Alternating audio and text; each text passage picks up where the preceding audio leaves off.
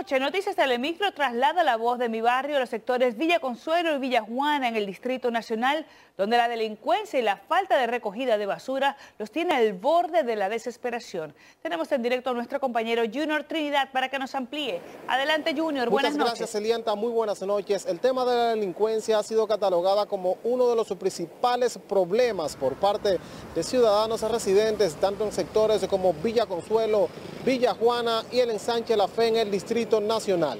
Aseguran salir a las calles para ellos se ha convertido en una odisea. Difícil. Aquí no se puede caminar a ninguna hora, ni por la mañana, ni de tarde. Bueno, la seguridad es muy buena, porque por aquí policía ni se ven. Por aquí no se ven policía, eso es atraco a diario. Ah, no, este pedazo, ahí no se puede caminar, no.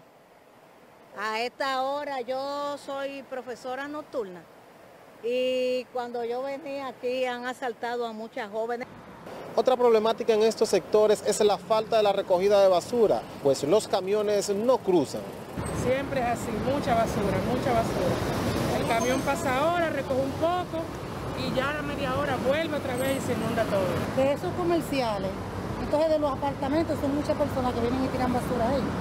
La basura todos los días, que debería de pasar diario. Indican que en los últimos días algunos apagones se han registrado, pero en las últimas horas se han reducido. Es todo de mi parte, Elianta, yo ahora retorno contigo al estudio.